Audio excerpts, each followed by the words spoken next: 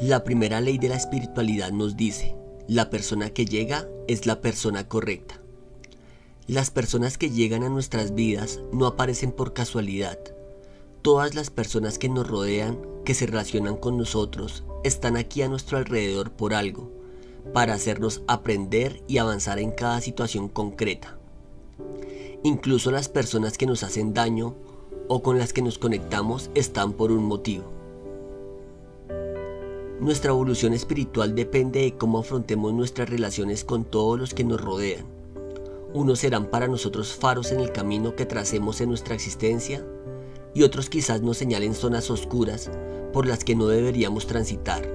Todos, absolutamente todos, nos aportan algo.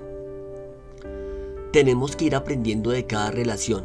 Somos una suma de aprendizajes que conforman nuestro destino y cada persona con la que intercambiamos nuestra energía un maestro. Aprendamos de ellos, nunca dejemos de aprender. Cada situación tiene un aprendizaje que llevará tiempo a asumir.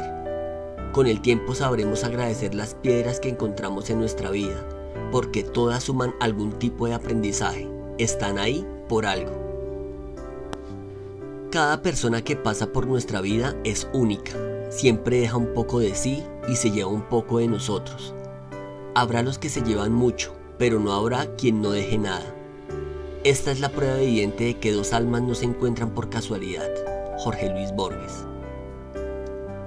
El segundo principio espiritual indica, lo que sucede es la única cosa que podría haber sucedido.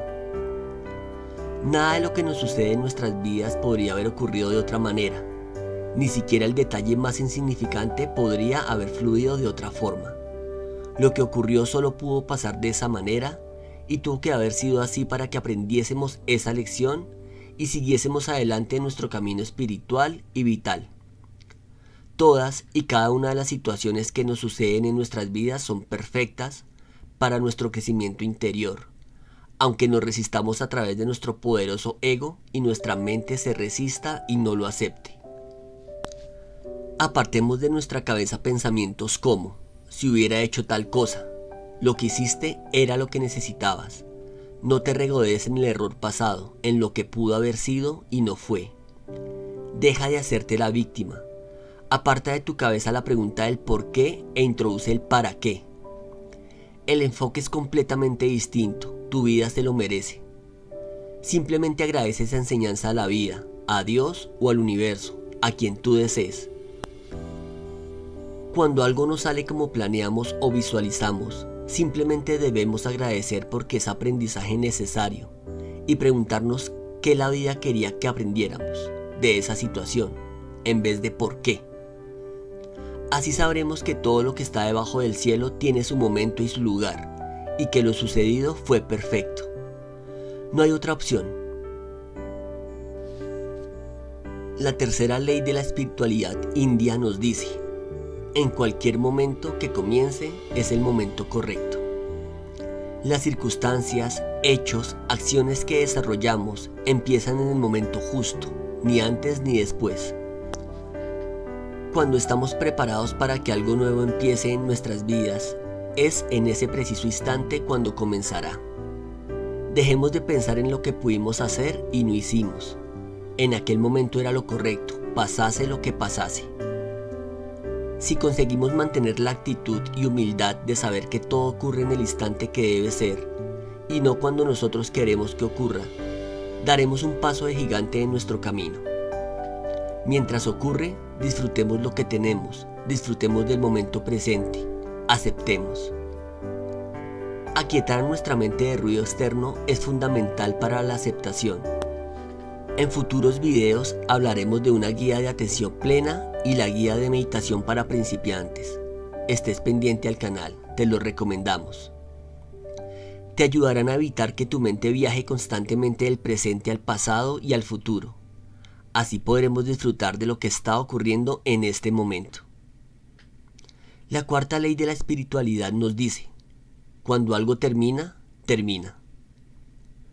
Si algo termina en nuestra vida es para permitir e impulsar nuestra evolución, por lo tanto, es mejor no mirar atrás.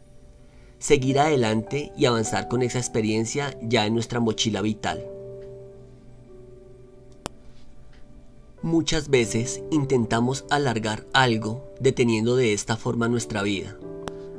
Seguir adelante es la mejor manera de no sufrir. Dejemos que vuele lejos de nosotros aquello que terminó. Si no es así, volverá a nuestra vida. En resumen, las cuatro leyes de la espiritualidad india son, primero, la persona que llega es la persona correcta. Segundo, lo que sucede es la única cosa que podía haber sucedido. Tercero, en cualquier momento que comience es el momento correcto. Cuarto, cuando algo termina, termina. Si somos capaces de aplicar estos sencillos mandamientos en nuestro día a día, seremos capaces de llevar una vida más coherente y mucho más propicia para alcanzar la felicidad. Quisiera acabar añadiendo que no es casual que estés escuchando esto, ¿no crees? Al menos merece que le demos un par de vueltas y si pasamos a la acción, mucho mejor. Espero sinceramente que este audio haya sacudido vuestra vida como vuestra alma. Que tengas un día maravilloso. Te habla Alejandro Páez, te envío un fuerte abrazo y nos vemos en un próximo video. Hasta pronto.